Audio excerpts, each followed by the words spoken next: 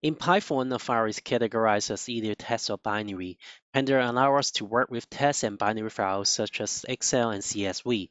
Functions like the with CSV with Excel methods enable us to work with files effectively under a data frame instance.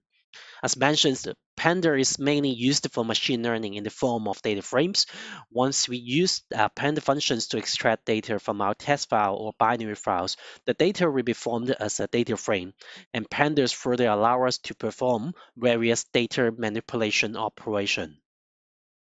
A large number of methods in pandas can help us to compute the descriptive statistics and other related operations in data frame. And let us go through the most commonly used functions in this video. So here, let's load the database first, and then we print out uh, the first five rows for you to understand, uh, for you to understand the database or data set that we have.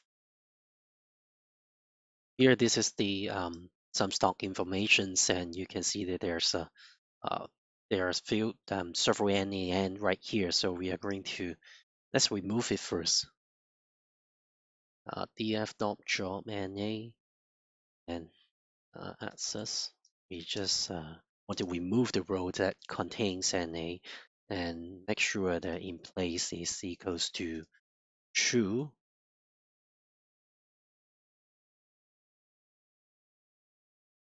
what we have right now.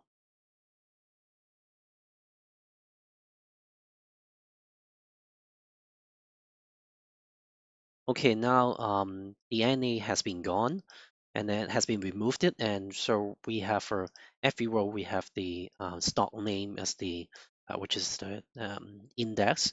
And then we have around uh, a several, I guess that should be more than eight columns um, for the stock informations and we have the stock price and so and so.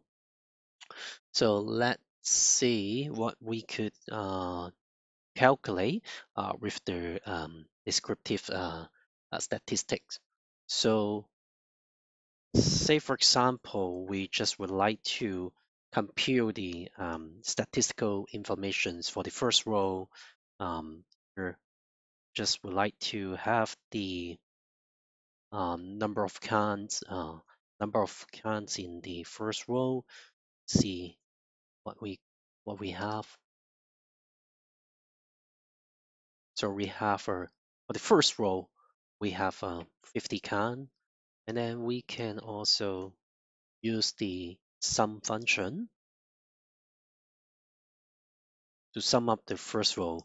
That means sum up the stock price for each of the elements and you can see the results right here. And we can also calculate the mean. Calculate the mean of the first column, and this is the result. We can also calculate the median. And this is the median price of this uh, first row. And we can also calculate the standard deviations for the first row. That is the stock price of this um, of this first row, the standard deviation.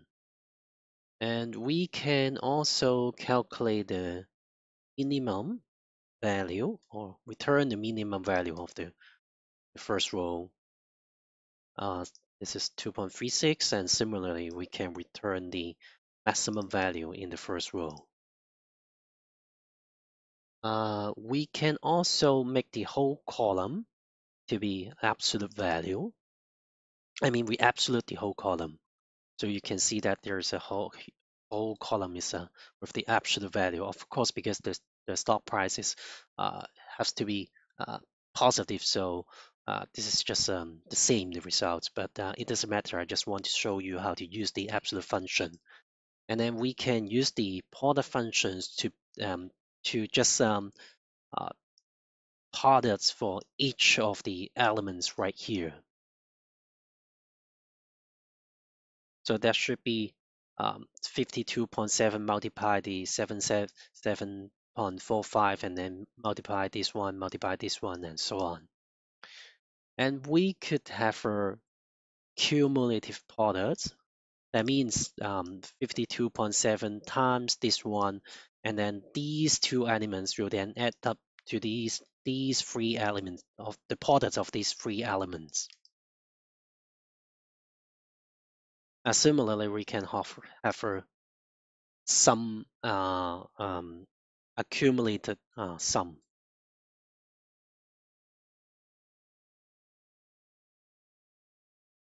What is accumulated sum is that just um, these element add these elements and then these uh, these elements uh, and then uh, I should say let me let me show you. This is 50.7 and this is the first element and then the second element is that 52.7 plus 775 and then 50.7 plus 7.45 plus 43.9 and so and so. And this is the uh, accumulated sum. And then the accumulated uh, that I just showed you is the just change it to a multiplier. And then so this is not so hard. And that's it for this lesson. Thank you for your watching